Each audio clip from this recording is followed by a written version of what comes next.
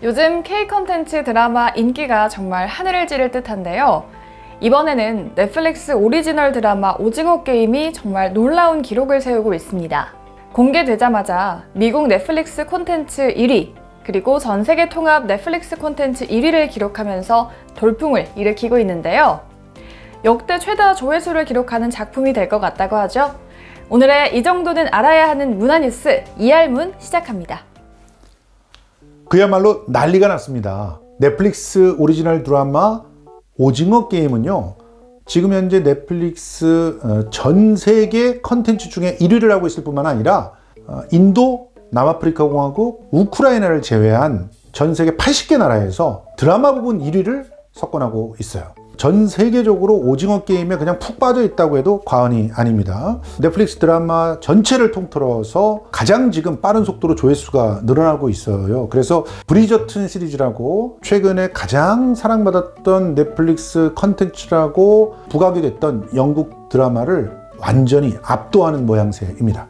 넷플릭스는 좋아 죽겠다는 입장입니다. 어, 창립자인 리드 헤이스팅스 CEO는요, 자기 SNS에 오징어 게임의 그 러너 옷 있잖아요. 그 초록색 추리닝을 입고 나와 가지고 화제가 되기도 했고요.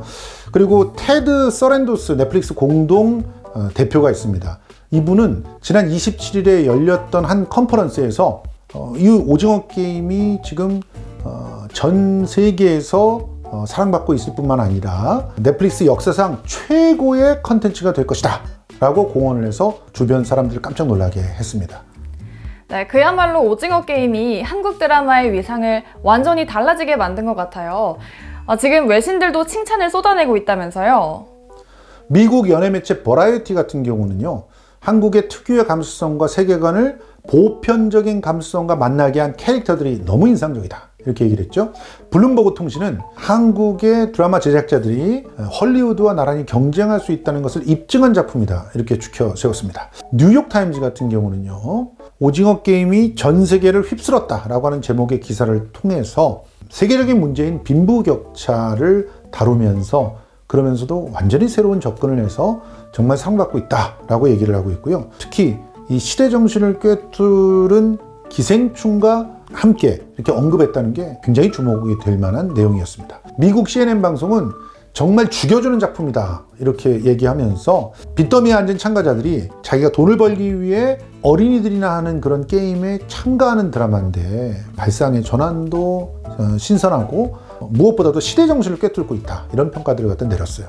이미 영국 일간지 가디언 같은 경우도 기생충과 비교하면서 특별 기사를 내는데 모두 다 극찬을 하는 그런 모습들을 보였습니다.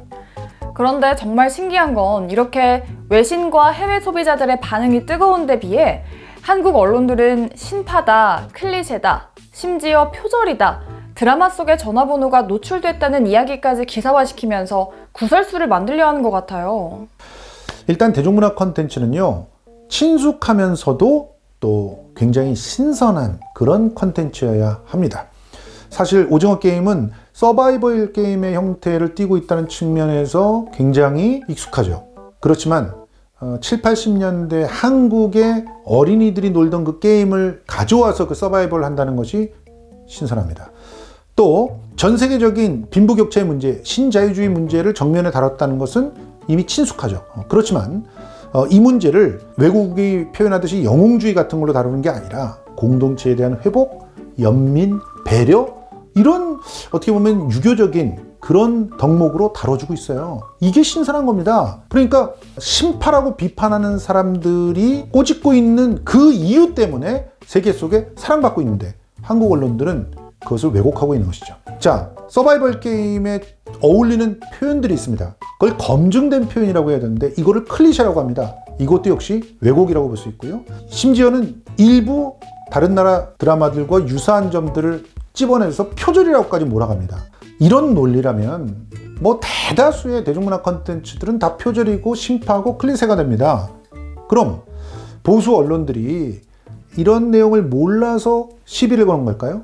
그렇지 않습니다. 사실 국민들을 대변한다기보다는 일부 특권층을 대변하는 이런 언론들은 그 특권층들이 불편해하는 드라마들을 흠집을 내고 싶은 거죠. 신자유주의 질서 아래서 공정하지 못하지만 그걸 공정하다고 착각을 하면서 게임을 지속적으로 해서 한 사람의 승자 독식을 만들어주는 이런 세계 누가 원하고 있을까요?